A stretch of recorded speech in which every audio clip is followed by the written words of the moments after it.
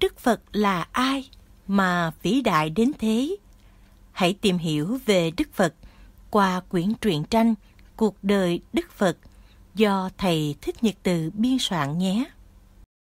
Phần 3 Đức Phật tìm ra con đường giác ngộ như thế nào?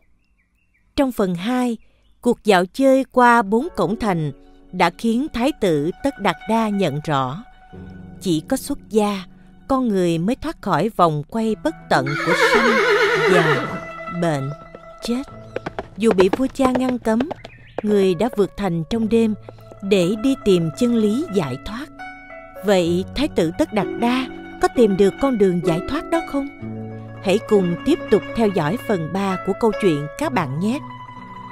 Trên bước đường tìm thầy học đạo, Tất Đạt Đa đã gặp hai vị đạo sĩ nổi tiếng là Ala Lakalam và Ưu Đà La La Ma Tử. Sau thời gian ngắn theo học với hai vị này, đạo sĩ Tất Đạt Đa đã thuần thục lời dạy của họ, nhưng mục tiêu của Ngài vẫn còn rất xa. Vì vậy, Ngài liền từ biệt ra đi, tiếp tục tìm kiếm chân lý mà Ngài hằng mong mỏi. Đầu tiên, Thái tử Tất Đạt Đa đến thành Vương Xá tại Vương quốc Ma Kiệt Đà.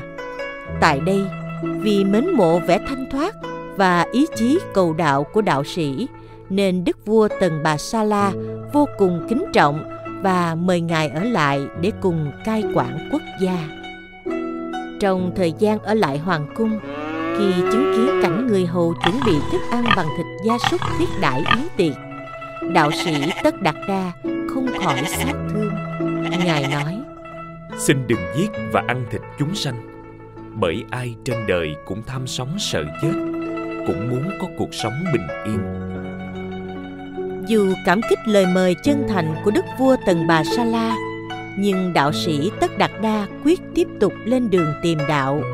Trước khi từ biệt, đức vua cầu xin đạo sĩ, khi thành đạo, hãy trở lại để truyền dạy chân lý cao thượng cho mình và thần dân thành phương xá. Đạo sĩ nhận lời, rồi tiếp tục lên đường tất đạt đa hướng về rừng, cùng tu tập khổ hạnh với năm anh em kiều trần như. Sáu năm ròng rã trôi qua, dù đạo sĩ tất đạt đa kiên trì thực tập ngày đêm khiến tinh thần suy giảm, sức khỏe kiệt quệ, chỉ còn da bọc xương. Vậy mà đích đến của ngài vẫn chưa hiện rõ. Một ngày nọ đạo sĩ tất đạt đa quyết tâm từ bỏ lối tu khổ hạnh đầy đọa thân xác và chọn con đường thực hành chung hòa mà sau này được ngài gọi là trung đạo, nghĩa là không quá nuông chiều nhu cầu của cơ thể mà cũng không quá ngược đãi nó như thời gian vừa qua. Ngài xuống sông ni liên thiền tắm gội, nhận bắt sữa cứu mạng của thôn nữ su già ta. Khi ấy năm anh em ông Kiều Trần Như không hài lòng với sự thay đổi này của Tất Đạt Đa, nên từ biệt ngài và đi về vườn nai. Khi còn lại một mình, Tất Đạt Đa đến dưới gốc cây bồ đề xanh mát. Ngài quyết chí Nếu không tìm ra chân lý, dù thịt nát xương tan, ta quyết không rời khỏi chỗ này. Bắt đầu chặng đường mới, Tất Đạt Đa gặp không ít gian nan khi ma vương liên tục xuất hiện chống phá ngài. Đầu tiên, hắn đưa ba người con gái xinh đẹp ra để mê hoặc thái tử.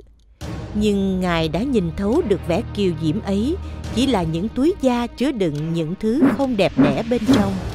Kế đến, hắn hóa ra vô số tiền vàng, châu báu để gợi nên lòng tham của tất đạt đa.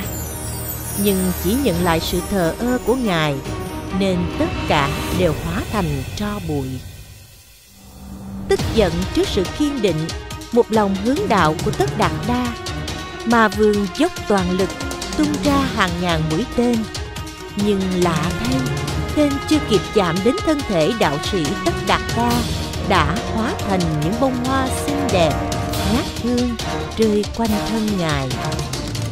Mà vương kinh hãi, bèn rút quân trở về hang ổ của mình sau 49 ngày đêm ngồi thiền dưới cội Bồ đề, Thái tử đã chiến thắng được những xấu ác bên ngoài và cả những buồn phiền, tham lam, giận dữ, mê muội bên trong mình. Khi sao mai vừa ló dạng, Thái tử Tất Đạt Đa đã giác ngộ thành Phật, hiệu là Thích Ca Mâu Ni. Mãi mãi không còn phải gánh chịu những đau thương của kiếp người. Vậy là cuối cùng Thái tử Tất Đạt Đa đã tìm ra con đường giác ngộ, mở đầu cho chặng đường ban vui, cứu khổ, truyền trao chánh pháp trong suốt 45 năm sau này. Hãy cùng đón xem những diễn biến mới của câu chuyện trong phần tiếp theo các bạn nhé.